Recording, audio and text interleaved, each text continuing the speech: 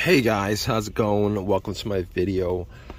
I just want to give you guys a quick tip if you guys have a crank no start issue.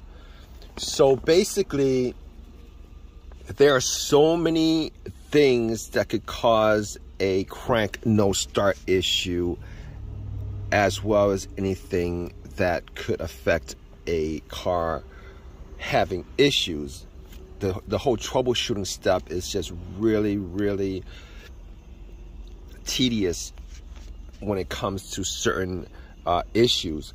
But if you guys have a crank no start issue, there could be so many things that could be causing it. Could be fuses, it could be relays, it could be the fuel pump, it could be the battery even, it could be the battery, could be the car's computer, etc., etc. The list just goes on and on and on and on. All right, but I'm gonna give you guys a quick fix if you guys are in this uh, situation right now, and and this quick fix obviously is only if you guys have a certain certain couple of symptoms as far as uh, your your no your crank no start issue. All right. So a couple of days ago, I was stranded at a Wendy's. I went to Wendy's. The car was the car was driving fine the whole entire day. I went to Wendy's, got some He came out and came across this situation where it cranked but it wouldn't start. It cranked but it wouldn't start. And and I been having this situation for the last, I would say the last month. It just showed up maybe a month and a half ago and then it became progressively worse afterwards, but it became noticeable essentially within the last month where where it would crank it wouldn't start, it would crank it wouldn't start, and then it would you know, it would start after a couple of tries and I tried everything to fix it. I mean, I tried everything to try to figure out what the issue was so that I could fix it. Looked the battery, um, checked out all the fuses, checked out all the relays, plugged in OBD2, obviously. Thought it was a fuel issue, thought it was electrical issue, but couldn't figure out what the problem was. Did all the tests did all the tests that that I could possibly think of in this situation to try to figure out what the problem was.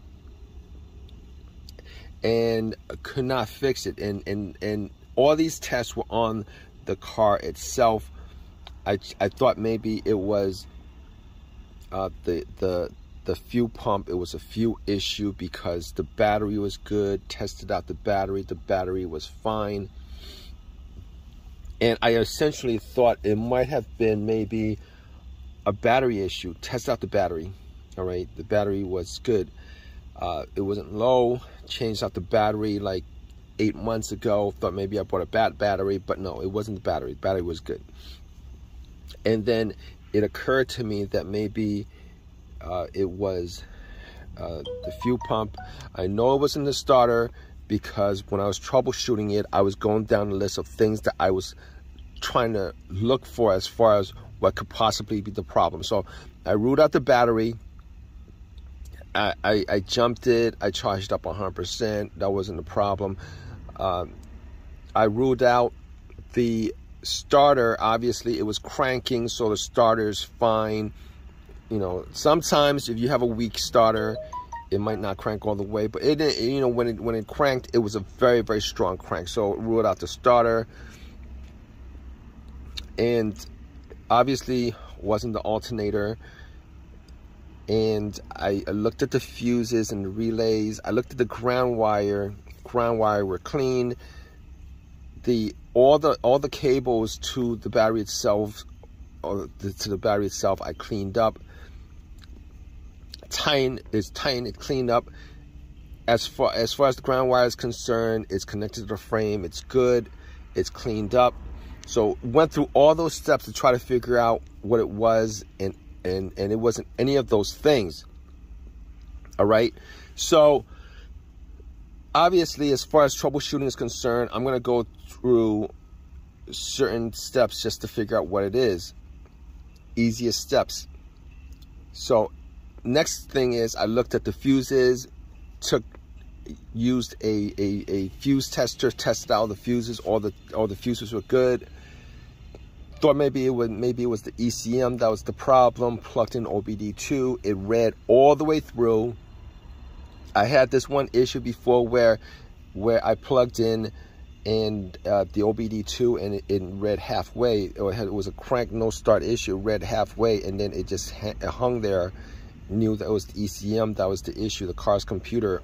so this time it read it read all the way through without any kind of issues whatsoever, and there was no codes. so I ruled that out, and got to the point where I was thinking to myself that it was probably the fuel pump that was the problem. But I did test out the fuel pump and the motor was running. The motor was running. I, I, I listened to the whizzing sound of the motor, the pump itself, it was running, so it wasn't the fuel pump.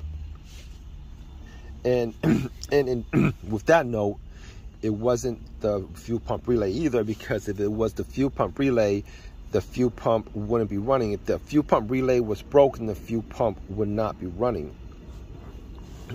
So I, I spent so much time going through everything over and over and over at least a couple of times just scratching my head trying to figure out what it was in the car what it was about the car itself that was malfunctioning that was causing the issue etc etc even went to the point of maybe changing out the fuel pump. Even though I heard, even though I heard the uh, the, the motor whizzing, I was thinking it could be, maybe it could be uh, the fuel filter that was clogged or whatever.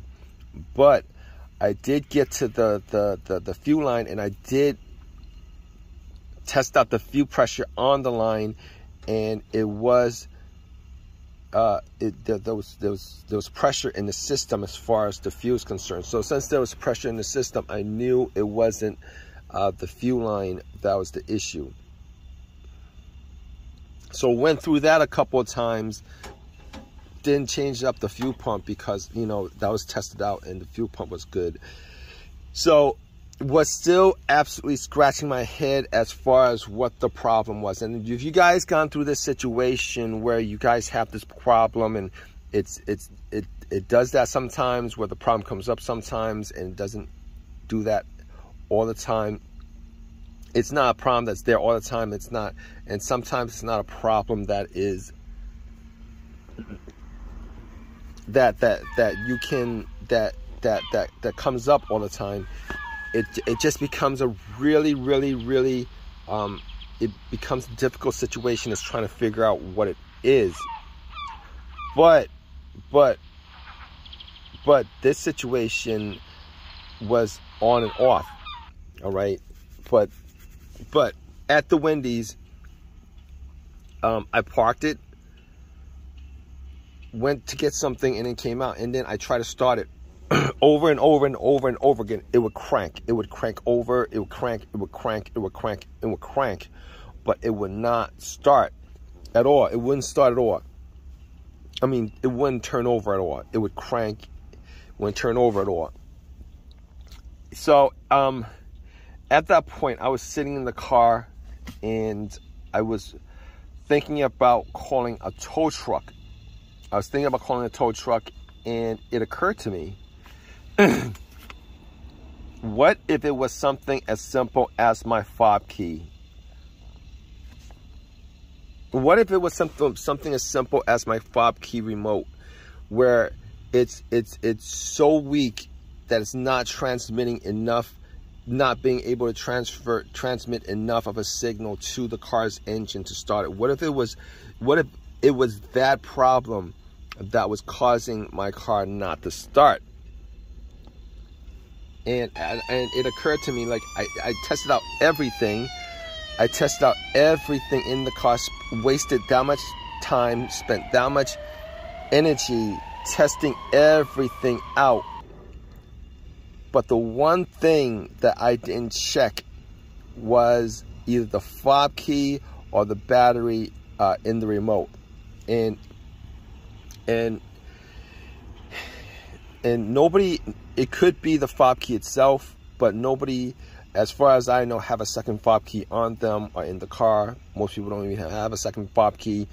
And a lot of people, you know, misplace the fob key. So so it could have been fob key. It could have been the the remote, the battery on the remote being uh, being really low. So I was thinking before I call a tow truck, spend money on a tow truck. I was thinking to myself, maybe it's the fob key. Perhaps it's the fob key. So there was an AutoZone close by. I went to the AutoZone, and uh, well, what I did before that was I actually took the cover off the fob key remote and I took the battery out, put the battery back in and try to start it and it would still crank and it won't start. So I was thinking to myself, I have to change the battery. I have to change the battery just so I can, this is part of the troubleshooting step. I'm gonna change the battery. So I went to AutoZone. Um, I got the battery for, for the key, popped it in, put the cover on, and then uh, got back to my car and I was crossing my fingers hoping that this would resolve the whole entire situation. Turn it on and it did guess you guys guess what's gonna happen, right? I turn it on and then and then it turned on. It, it just it automatically turned on, it worked and it ran, etc. etc. So so absolutely amazed that I, I, I missed out on that most simplest troubleshooting step as far as troubleshooting this uh, crank no start issue. And and this is one of these situations where a lot of people miss that miss that first step, which is the easiest step. If you took that step as far as changing out that fob key, and if you don't know when that battery was changed out, and then you changed out that you know so if you don't know when that battery is changed out, definitely go and change out your fob key battery because uh, it's the simplest, simplest thing you can do as far as trying to figure out this this situation. Uh, and and the most, uh, the, you know, people skip over this the full fob key battery being the situation being is that it's not actually directed directly connected to the workings of the car you know, a lot of people don't think that the fob key itself is direct. As, aside from turning it on, you know, they don't think that a remote actually is directly connected to, you know, whether the engine starts up or not. For the most part, because a lot of people actually just skip over that step. So just to make this long story short, um, don't want to keep you guys waiting as far as this situation is concerned. If you guys have this situation, and you guys are stuck right now trying to figure out what's the easiest thing you guys could do as far as getting your car to crank up and start. Uh, if you guys are close to a, a Walgreens or a CVS or a Walmart or any place that sells these uh, these batteries for the fob key, definitely make that your first step just to rule that out because if it works, that actually solves your problem right then and there. If it works, it solves your problem right then and there. That's the culprit of your problem. Simple fix. It the battery itself is probably like six bucks or whatever. And and you could get you could, you could get your car moving. Problem resolved. All right. So so I hope this has helped you guys out as far as your problem is concerned. Um, definitely if you guys have your own personal experiences with this um, definitely leave um, a comment. A comment section might help somebody else out. Please give me a thumbs up. Please subscribe. All that good stuff right guys? Uh, and uh, hope you hope the, the the problem to your crank no start issue is as simple as that. All right guys? So take care